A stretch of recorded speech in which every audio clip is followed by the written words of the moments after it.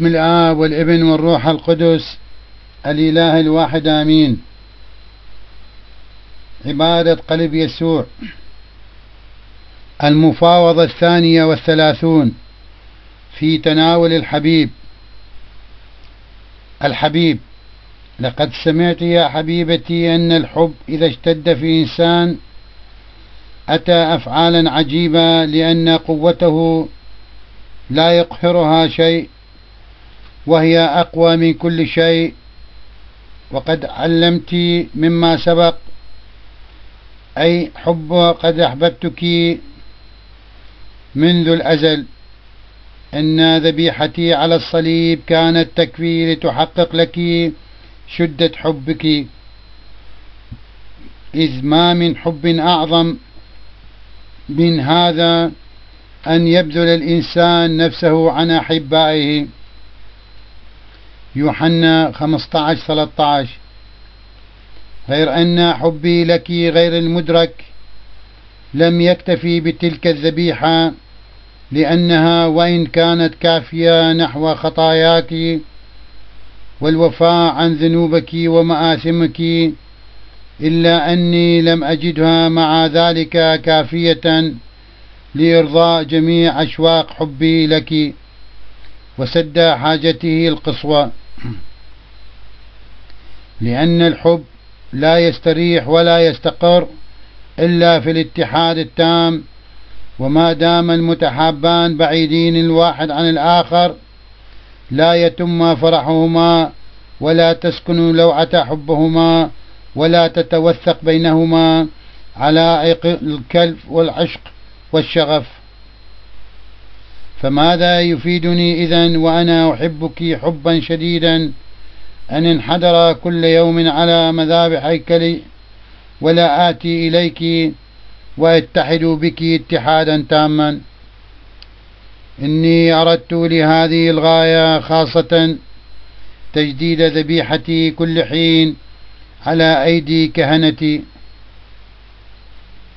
النفس. ما هذا الكلام الرفيع يا إلهي وحب الوحيد وكيف يكون ذلك؟ إن داود عبيدك عبدك قد تعجب من رضا شاؤول الملك بأن يعطيه ابنته امرأة له فقال لشاؤول في تعجبه من أنا وما هي حياتي وما هي قبيلة أبي في إسرائيل حتى أكون صهرا للملك. وقال لعبيد شاؤول أقليل هذا عندك عندكم أن أكون صهرا للملك وأنا رجل مسكين ذليل؟ فماذا يليق بي أن أقول الآن وأنا أراك؟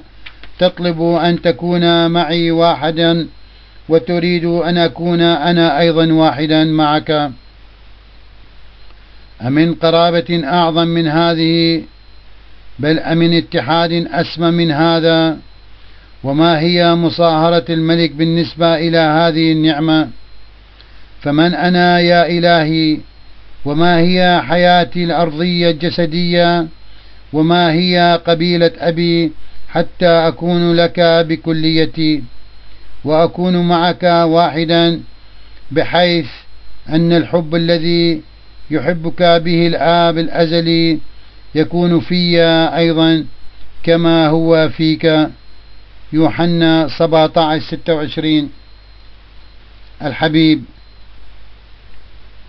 إن السكوت خير من الكلام عن محبتي لأن ليس في استطاعة الكلام البشري أن يستوفي حق وصفه وإذ تعذر على صفي بولس أن يصفوا بالكلام ما عد حبيبي لأصفيائي اكتفى بهذا القول. ما لم ترى عيني ولا سمعته أذن ولا خطر على قلب بشر ما عده الله للذين يحبونه. فإن كانت خيراتي وإحساناتي لا تدرك فكيف تدرك محبتي التي هي أعظم بكثير من تلك الإحسانات والخيرات المعدة للذين يحبوني إن محبتي سلبت عقول الكثيرين أرادوا أن يفحصوا كل شيء حتى أعماق الله ولكن لا يستطيع أحد أن يعلم ما في الله إلا روح الله. فلا تزال محبتي غير مدركة ولا يستطيع إنسان بل ولا ملك أن يدركوا ما هو عرضها وطولها وعلوها وعمقها لأن محبتي تفوق المعرفة.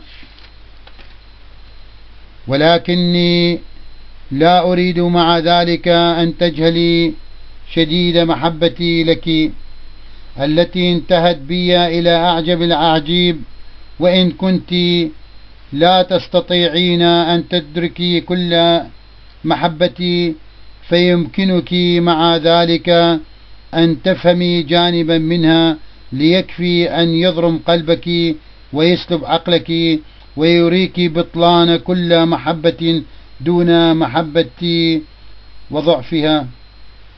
النفس.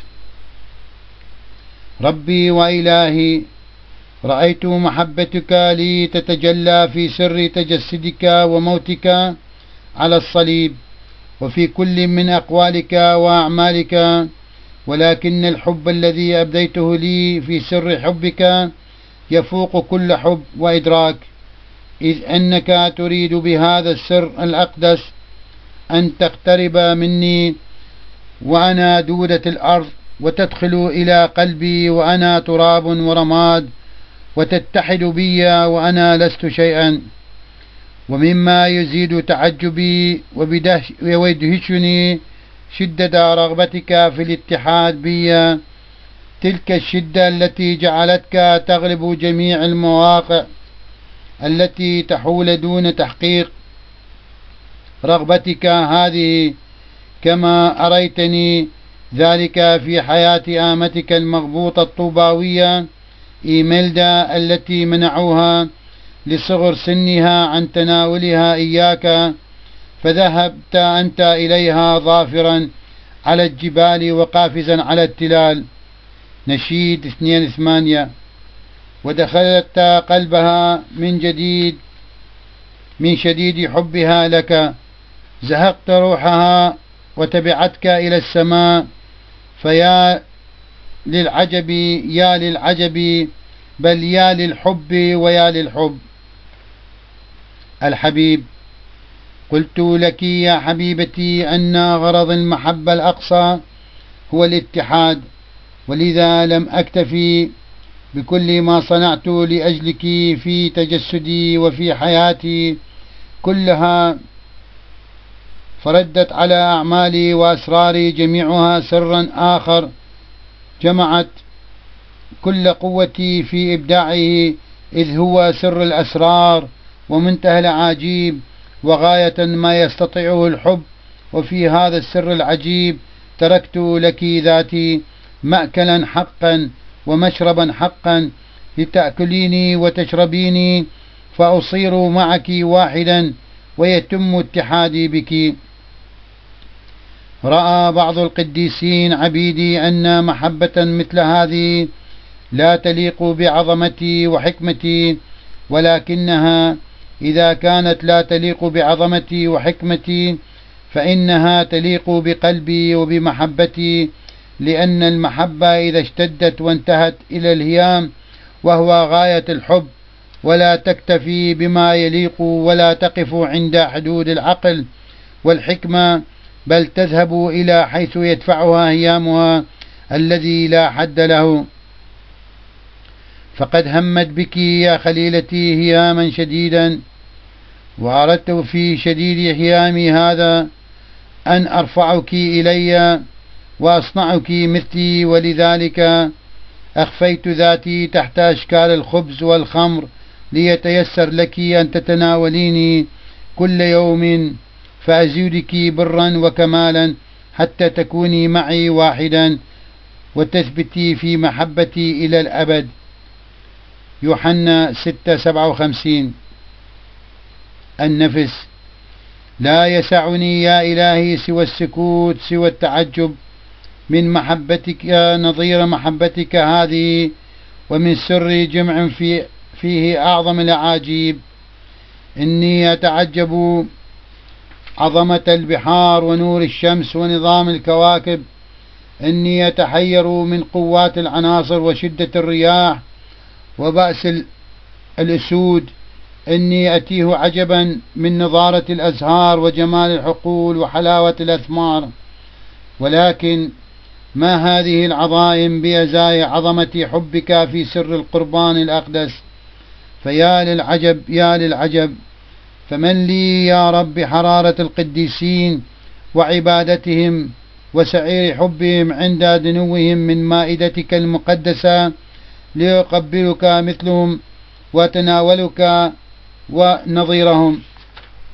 الحبيب لا يستطيع أحدا يا حبيبتي أن يتناولني بالاحترام والحب الواجبين لجلالتي ولكنني لم أخترع هذا السر طمعا في كرامتي بل رغبة في محبتك. إني لو أردت كرامتي فقط كما دعوت الأولاد والجهل إلى تناولي وتركت الخطأ والدنسين يقتربون مني ويقبلوني ولما كنت سمحت لك أنا أنت أيضا بقبولي وألزمتك بتناولي.